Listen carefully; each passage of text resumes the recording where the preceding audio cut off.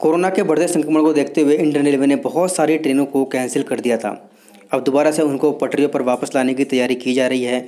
बहुत सारी ट्रेनें ट्रैक पर वापस लौट चुकी हैं और कुछ लौटने ही वाली हैं और रेलवे का प्लान है कि ज़्यादा से ज़्यादा ट्रेनों को ट्रैक पर वापस किया जाए, क्योंकि बहुत ज़्यादा लोगों का दबाव बन रहा है, लोगों की भीड़ बढ़ती जा रही है ट्रेनों के अंदर और लोग अब घर से बाहर निकलना शुरू हो चुके हैं। तो ऐसे में ट्रेन भी ज़्यादा चलनी शुरू हो चुकी हैं।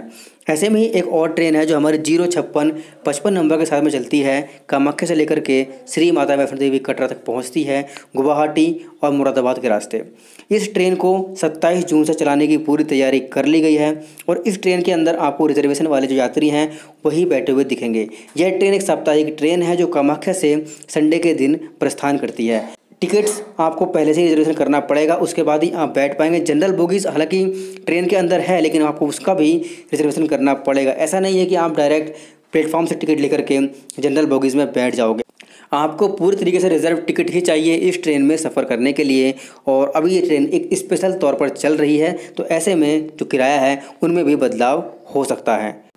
उम्मीद करता हूँ आपको जानकारी पसंद आई होगी। हम ऐसी ही जानकारी अपने चैनल पर लेकर के आते रहते हैं इंडियन रेलवे से संबंधित। अगर आपको जानकारी पसंद आई है तो वीडियो को लाइक कर दीजिएगा, चैनल को सब्सक्राइब कर दीजिएगा।